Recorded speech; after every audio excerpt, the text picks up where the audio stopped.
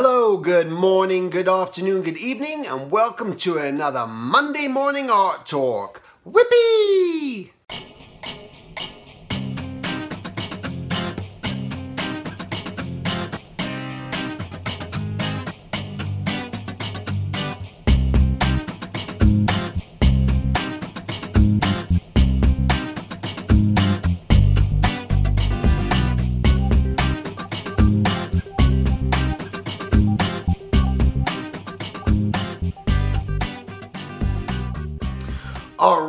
So I'm just recovering from a little sickness here. That's why my voice is maybe sounds a little bit uh, different today.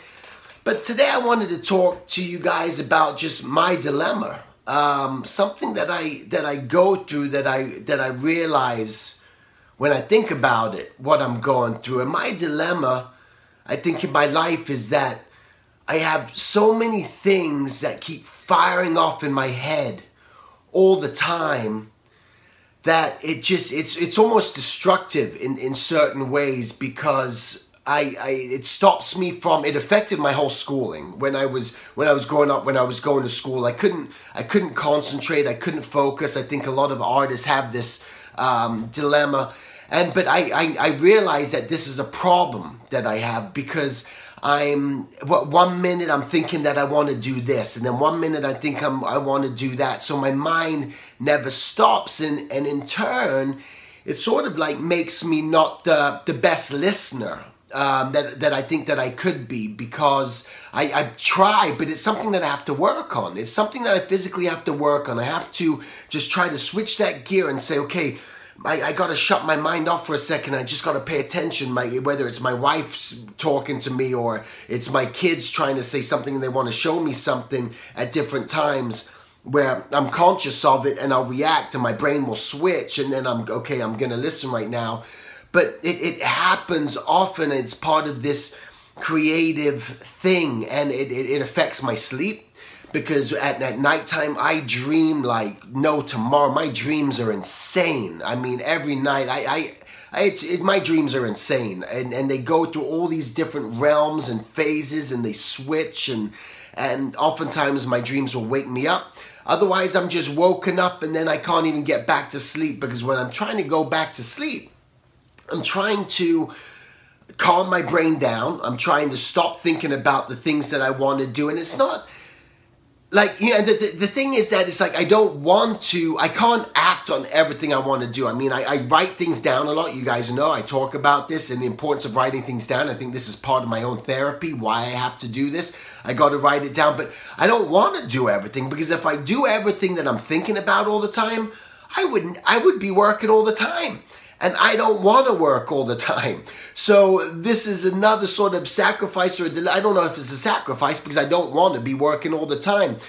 And but that as the brain just as I'm trying to go back to sleep, even my brain is just kicking into these different things that oh I did this and that and and and, and so I have to try to tell myself things. Sometimes I just go into these breathing states where I'm just breathing in and I'm just saying, just like, here and now, here and now, and I keep telling myself I'm just here and now. Otherwise, I go into just um, breathe. I just say the word breathe as I'm inhaling because I feel sometimes if you're saying the word breathe, you're not thinking about anything else if you're just breathing. So, in a way, it's a form of meditation, but I need to do that. But I think it's the real stuff that I go through in all honesty because when I go when you go through those funks or I know when I go through those funks when I get those days where you know it's like I, I realize I've been working since I was 18 years old as a professional artist. I'm 45 years old now and I'm very grateful and thankful that I've been able to raise a family. My kids are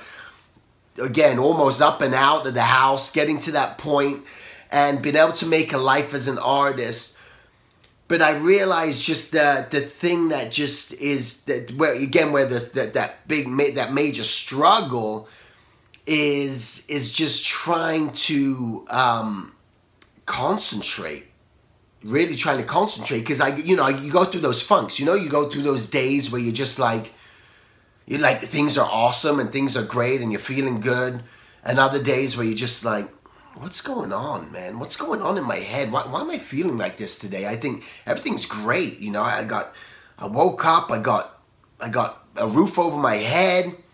I can do whatever I want to do. I can speak to whoever I want to speak to. I can eat whatever sort of food I want to. I could I could travel the world in food if I want to eat Asian food or Indian food or American food or English food. I can experience all that greater than what kings were able to do. But when you think about it, we almost live greater than the way the kings did because think of all the just the, the, the, the, filth they had or just they didn't have, they were eating the same stuff all the time. You know just the options we have today are greater than a, a king living in some place and they had their limited options. You know it may be abundance but it was like got probably got very boring a very boring existence and probably that's why they were so some of them so crazy. Um, but I think that's the thing where I realize that, you know, everything's great. I'm grateful for the things that I do have and the, the again the people that I'm surrounded by and the, the true friends that I have and eh, all these other things it's everything. You go but why is there something missing? What what is it that's that's lacking? You know you could be at a job and you're working that dream job and you're doing that one property and but what is it that's missing so I gotta analyze it because that's what my brain does. I gotta analyze it and I gotta try to break it down and I'm just trying to think what is it? And I realize more and more it's about just the constant chaos. It's the constant wanting to keep creating, which is in a weird way this production, this producing, and that desire to keep producing, but not wanting to put in all the work and be the machine of keep pumping, pumping, pumping, pumping. I mean, I could create 10 Kickstarter campaigns, but I don't want to.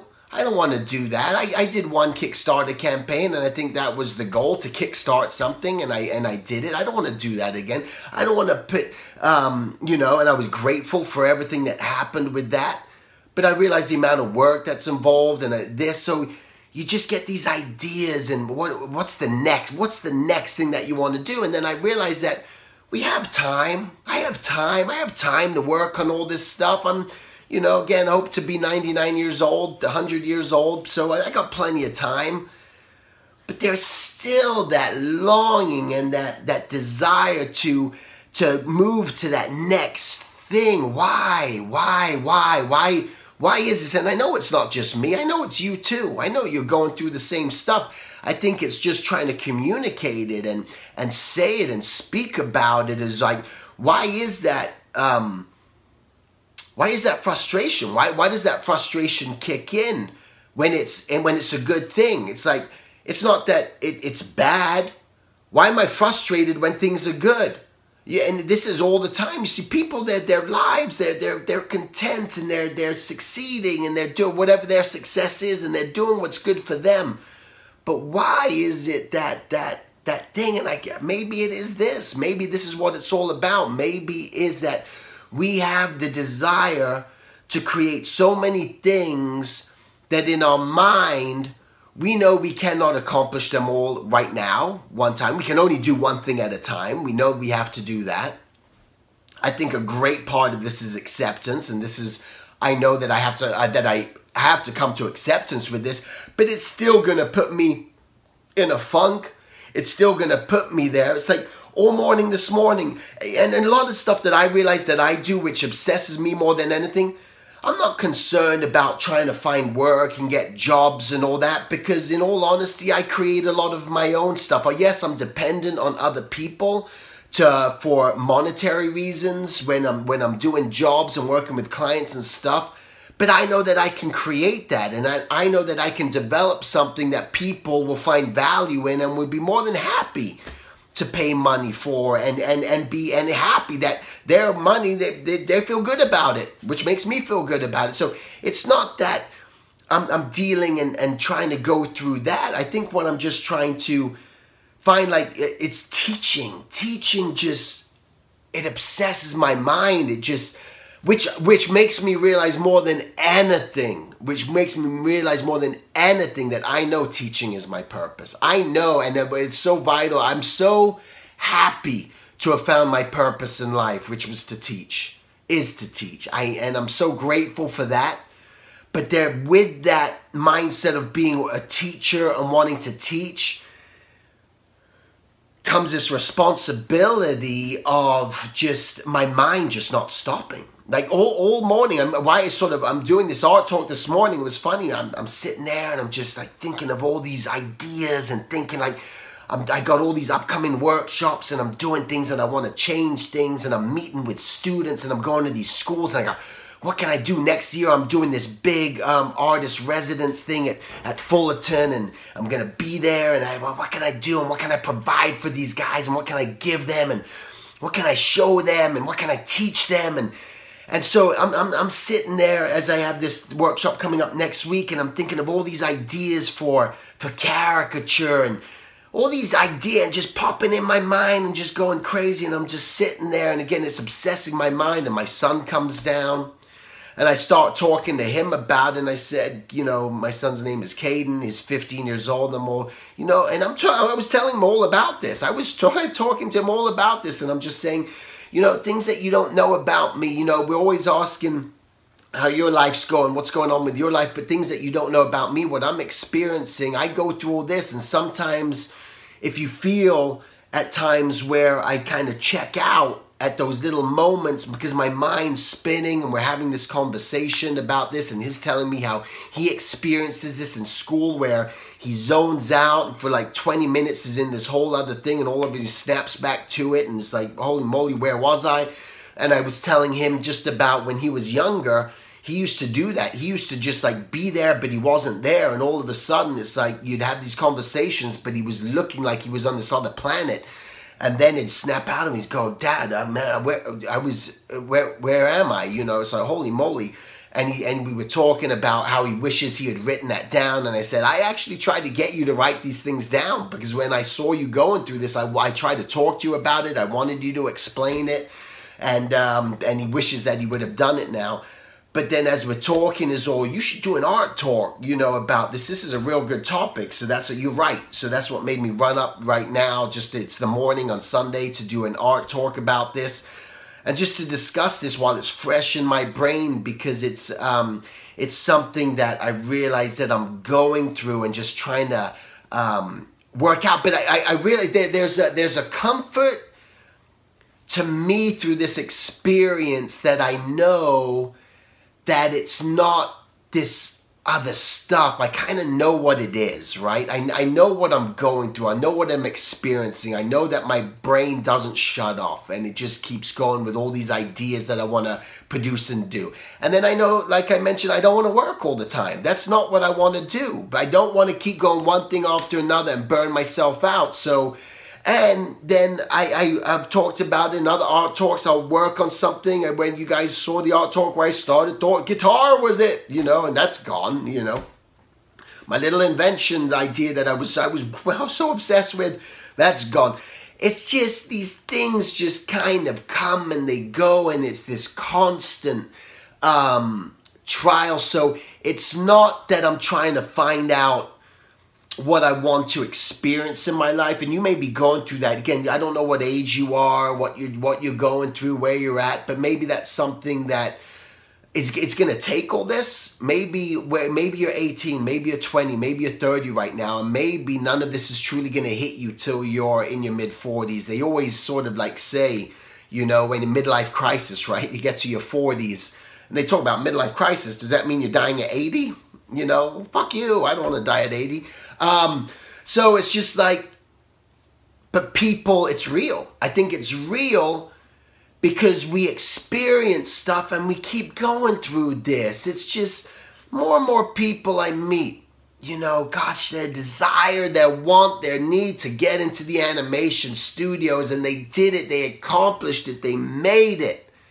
And I talk to them, man, I, I want to do something different. I, I want to get out. I want to change. I'm just, I'm, I'm, I'm fulfilled. I'm not, because it's this desire of, is it, are you doing it because you're trying to prove something to people? And some people are. Some people's whole life is spent just trying to prove to others that they're capable of being something. And maybe it's because a reflection of maybe their life growing up, maybe their parents always told them they weren't going to be good enough, or someone else didn't tell them they were going to be good enough. So the reason they're doing something is just to prove a point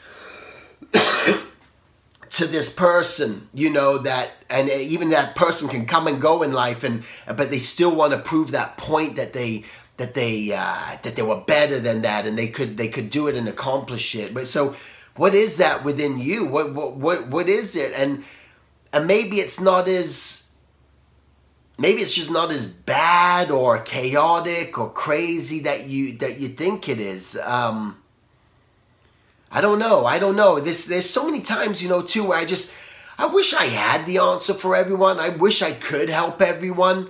And I remember I was talking to uh, this woman that I had met. She was she was an attorney, and she said, Stephen, you know what your problem is? You're trying to save everyone, you're trying to help everyone, but you got to give up on that because you can't do it. And when you come to the realization that you can't save everyone and you can't help everyone, you know that that's when that's reality. And it is reality. You can't save everyone or help everyone. I realized i used to tell people all the time about my journey. I used to tell people all the time about and i still do about but this is this is the path that i took and realized i can't tell you to follow my path. You got to forge your own path. You got to find your own way. You got to take your own machete and start cutting down those bushes and get you through to that clearing, whatever that clearing is for you. But I can tell you ideas. I can tell you important things regarding the passion, you know, regarding just finding that clarity, just having that vision and, and deciding and all these things.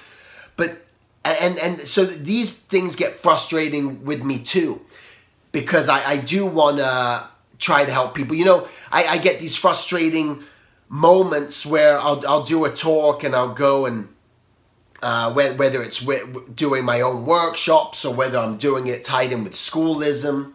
And I do these workshops and you get some you know feedback from people. And you know the most the, the, the, hardest thing that I hear that, that I think affects me the most, and it's not that it affects me, I think it, I feel bad for the people or the person because usually there's only about two or three of them. And you can, you can have a thousand great reviews and you get two or three and you're just like, oh, you know, but you got to pay attention to those. You don't ignore them. But when they say the talk's too motivational, too much motivation, you know, not enough drawing, I'm just like, what? You know, are you kidding me? You know, how can you say that? You know, and I, then I then I start to feel bad or sad for that person that they're so close-minded. It's like when I had done a lecture one time, I was talking about, I was going to talk about how to make your characters more dynamic and breathe a lot more energy and life. But before that, I had to get into why. Okay, why you need to think about this. And I'm going down through the sort of the idea and someone's comment, you know, this was like a live feed. When you going to get into showing us how to make people give more life to your characters? It's just like, oh my God, are you kidding me? And and those sort of things. But I realize at those moments they don't last long because I got to let go and realize it's not me. It's that person who had who's doesn't have an understanding, who's who's unaware. They just they they want the pixie dust, and that's the same thing. It's the people who in the workshops just want that pixie dust and don't realize that the true pixie dust is the mindset and the thought process before you get to the drawing because it's all up here. It's not just in here. And this, this is part of again this this never-ending thing that I'm uh, the, the, journals that I've written, and I'm so thankful that I've written down all these journals, and I and I write all the time because I look back at them and go, wow, where was my mind at that time in my life? What was I thinking? Wow, this is interesting the way I was thinking, the way I was breaking things down. But anyway, that's kind of today's art talk. I just kind of wanted to share with you something that I was just experiencing and going through and realizing what sort of takes me, my, my dilemma, what sort of takes me down a bit. And it's like that constant non-stop firing of ideas and and wanting to do them but knowing that I can't do them all and I think that's the frustrating thing and and knowing that I can't do them all because I don't want to work all the time I don't want to be going going going going going to the point of burnout so you can't do that so that's it. Anyway, thanks guys for watching. You can go to silvertoons.com, check out the upcoming events. I would love to see you guys um, at the, um, I'm doing a, a workshop in Santa Cruz. It's a retreat that's going to be coming in August. um, a three day thing out in the mountains, you know, meditation, retreat, just sort of slow it down a bit. Discussing art, discussing observation, of course. There'll be drawing, workshop, and all that good stuff, but also being outdoors. So check it out. It's listed on my website. And of course, um, if you're interested in having the 30 minute Skype mentorship, where if you're just confused about your artwork or what it is that you want to do, or you're not sure what direction, if you're presenting your portfolio in the right way or whatnot, 30 minute session. Maybe that's all you need. And uh, you can just reach out again, silvertoons.com. Just go to the classes and you can see it there. People ask me all the time, are you still doing the mentorship? Um, through Skype because I don't have it listed on my video afterwards, but here it is. If you're interested, you can book a session. Just go through there. All right, guys, thanks so much for watching. I wish you all the best. Try to control your mind or don't try to control your mind. Let your mind wander, but understand what's going on. Make it a great week. Take care. If you live in Orlando, Florida, be sure to check out my upcoming workshop next month.